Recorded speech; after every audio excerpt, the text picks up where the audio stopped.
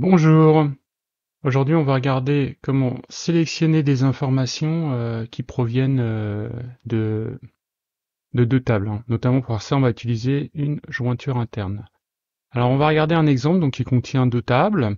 Et euh, dans cet exemple, on a donc une table pays qui contient notamment une information qui s'appelle co- code continent qui permet de, pointer, de référencer une autre table qui s'appelle continent.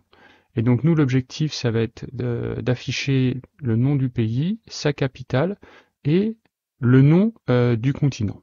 Donc c'est ça qu'on va euh, chercher à faire.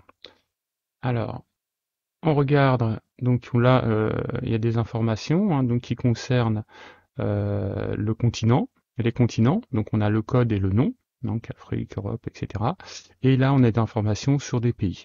Et nous, ce qu'on voudrait, c'est afficher, par exemple, que l'Albanie, sa capitale, c'est Tirana, et euh, son continent, c'est pas EU, c'est l'Europe. Euh, par exemple, pour l'Angola, ce qu'on voudrait afficher, c'est que euh, donc ce pays, c'est l'Angola, Luanda, c'est la capitale, et le continent, c'est pas F, mais c'est Afrique. Alors, euh, la première chose que euh, qu'on peut faire, c'est déjà regarder cette première euh, requête select qui permet de nous donner le nom et euh, la capitale. Alors après, on a dit qu'on voulait aussi le, le continent. Donc on va prendre cette requête-là et on va l'améliorer en rajoutant dedans le code du continent. Continent, voilà, hop. Donc là, on a le code continent, mais nous, ce qu'on voulait, hein, ce qu'on disait, c'est on veut pas le code du continent, mais on veut le nom. Donc dans ce cas-là, on n'a pas le choix. La seule manière euh, de faire ça, on va utiliser ce qu'on appelle une jointure interne.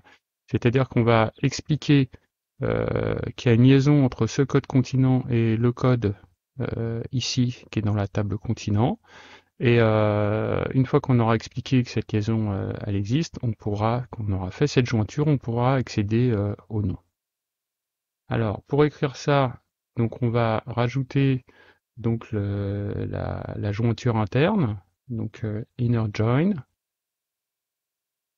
Alors là il me dit qu'il y a une, erreur. Alors le- l'erreur donc vient du nom et euh, alors on va regarder pourquoi. Alors il se trouve que le nom il est présent dans pays et il est également présent dans continent.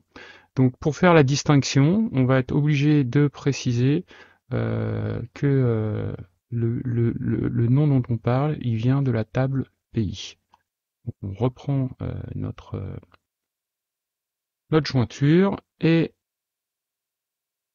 voilà. Alors ici, ah, encore une, une ambiguïté hein, de nom de colonne qui porte sur le nom, sur le code. Là, on parle du code de quoi? On veut que le code continent il soit égal à code. Alors quand on dit qu'on veut que le code continent il soit égal à code, est-ce qu'on parle de ce code-là ou est-ce qu'on parle de ce code-là? Donc évidemment, c'est de ce code-là. Euh, SQLite n'est pas au courant, donc on va devoir préfixer euh, code par le nom de la table continent. Donc on, on revient euh, ici, on va remettre la jointure correcte, et là on obtient euh, donc notre résultat. Donc ma- notre requête fonctionne, mais ah, on n'a toujours pas euh, le code continent.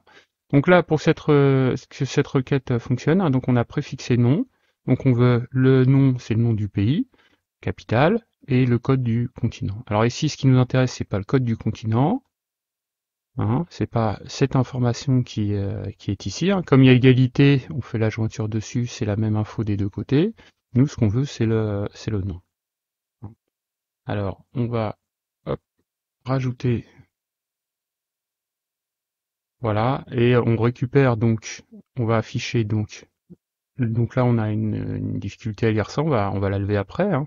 Alors on a récupéré le nom du pays, la capitale et euh, le, euh, le nom du, euh, du continent. Donc là on a quasiment ce qu'on veut.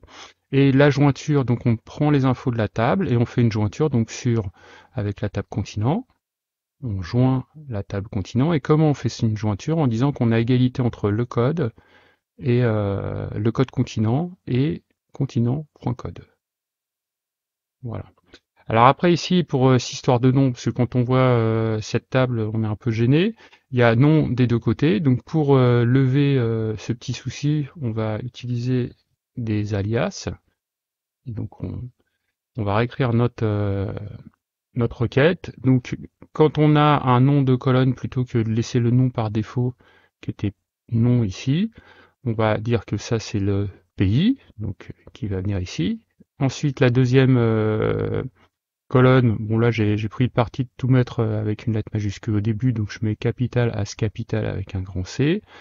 Et euh, le, dernier alias, donc c'est au lieu d'avoir nom ici, on va écrire continent.nom as continent.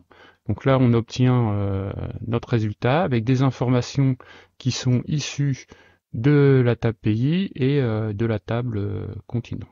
Donc on, a atteint notre objectif de récupérer des infos issues de deux tables. Alors en résumé, donc quand on veut récupérer des infos qui sont contenues dans deux tables, donc on peut utiliser une jointure interne. Hein. donc on va choisir la première table et on va faire inner join sur la deuxième table.